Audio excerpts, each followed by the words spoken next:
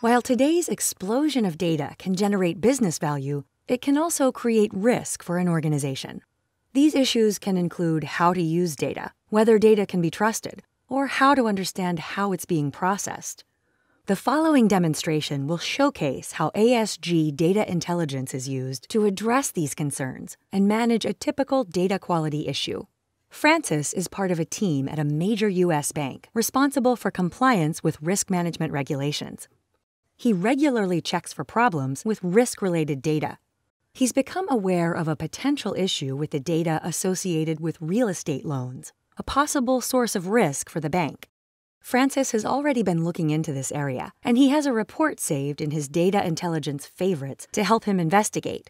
Pulling it up, he can see that there might be an issue with the risk data warehouse.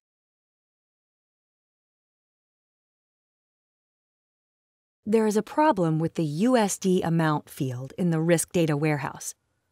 It's only hitting its quality target 96% of the time. This can lead to errors in any calculations using this field. It represents the fair value of real estate in the US. Having determined a problem exists, Francis decides to log an issue. First, he clicks on the Log Issue button. Next, he gives his issue a title, then adds a quick descriptive comment, and finally submits it.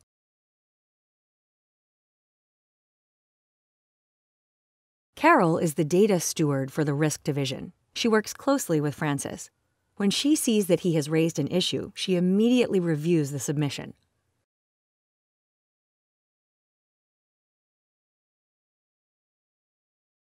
She realizes she can't fix the quality issues and agrees to pass it to Maria, the data quality specialist for the Risk Data Warehouse.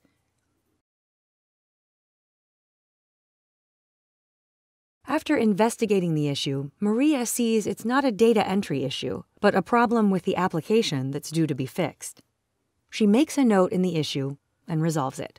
All the interested parties are notified. Carol can now see the issue on her Resolved Issues report. It was a quick and simple process to manage this one, and it will look great in the governance metrics. Francis is also satisfied with the outcome. In a perfect world, the data would be fixed immediately, but this one will be dealt with by the time he needs to produce his next risk reports.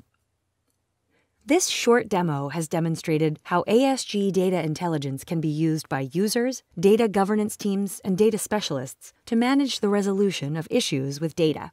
To find out more, visit www.asg.com/dataintelligence.